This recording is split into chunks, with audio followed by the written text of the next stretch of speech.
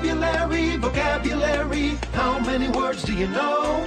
With the power to read, we'll learn new words. Here we go. What word is this? Proud. Read it with me.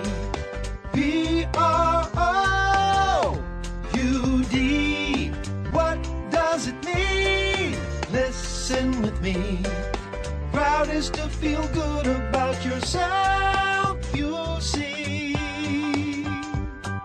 Vocabulary, vocabulary, how many words do you know? With the power to read, we'll learn new words. Here we go. Vocabulary, vocabulary, how many words do you know?